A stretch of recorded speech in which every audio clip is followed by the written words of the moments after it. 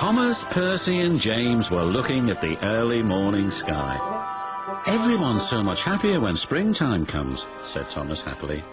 Everyone except the Fat Controller, grumbled James. He seems to be working us harder than ever. I'm tired of these coastal runs. He just wants everything to be ready for the holidays, replied Percy. Anyway, salty air makes me all cheerful in my smoke box. Ha! snorted James. It's the countryside that really gets me fired up. It's the only place to be. And he puffed away to collect his fuel trucks from the docks. Thomas and Percy had to take some empty trucks to the scrapyards.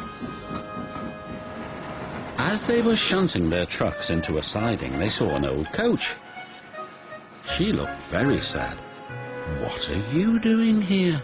They called me old slow coach and told me I wasn't useful anymore. Now only the mice ride in me. Well, you may be dusty, but you look in perfect shape. The yard manager appeared. Come along, I have trucks for you to take away. Excuse me, said Percy's driver. Can you tell us about this coach? Old slow coach, she's been here for years. She'll be broken up when we find the time, he replied. The engines were most dismayed. We'll try and help you, said Thomas, but he didn't know how. Meanwhile, James was enjoying himself. This is the life, he chortled. But he was heading for trouble. One of the fuel trucks was leaking. And suddenly it caught fire. Help! cried James. They reached the siding and his driver gave the alarm. It's fuel and it's dangerous. As Thomas and Percy approached the junction, they saw the smoke and a guard waving a red flag.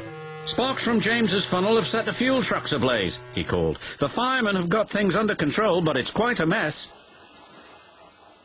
You said the countryside run got you all fired up, James, said Percy. But I didn't think he meant it in this way. Ha! snorted James. It was the stupid truck's fault, not mine.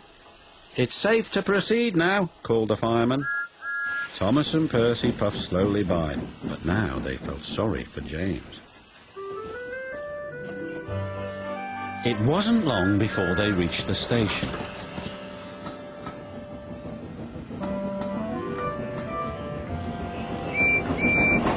Later, as they were having a long drink at the water towers, they suddenly heard a commotion.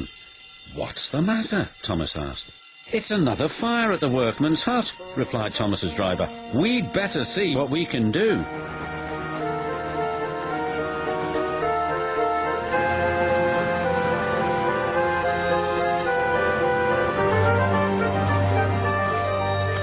The fire engines arrived, but they had a big problem. We are completely out of water, cried a fireman. We can't use seawater because it clogs our works. We'll just have to let that building burn. Then Thomas had an idea. Why don't you use the water in our tanks? We've just refilled them. The fireman wasted no time. You're very clever engines, chuckled their drivers. Soon the fire was out, but the hut where the workmen lived was destroyed. We'll need to find something to house the men. They can't sleep on the beach, said the foreman. What about old Slow Coach? She would be perfect for the workmen. Comfy, too, added Thomas. What a good idea, Percy, said his driver. They phoned the Fat Controller, who agreed. She'll be spick and span by the time you collect her. And she was, and very happy, too.